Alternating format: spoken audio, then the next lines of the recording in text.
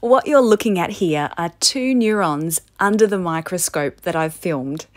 And if you wait really patiently, you'll be able to see them connecting to one another.